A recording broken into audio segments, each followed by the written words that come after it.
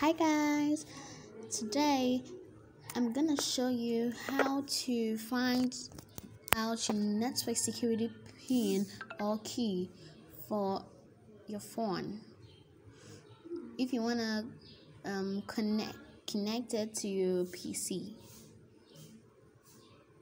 That's that's when you use Android phone like my phone. My phone is Tecno. Yeah.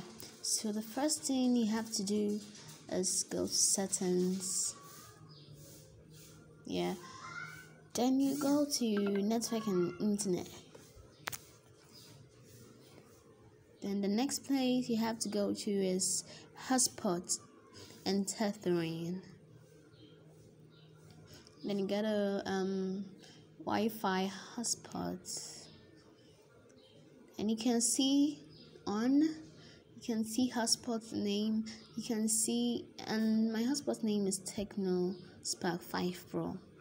And you can see security you can see hotspot password you can see turn off hotspot automatically you can see AP band which is 2.4 GHz band. And you just tap on the hotspot password. So this is your network security.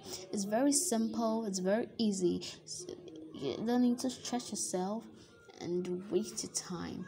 But this if you follow my videos i'll give you more of this. Thank you.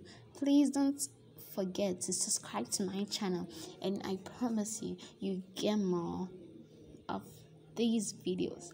Thank you very much. Love you all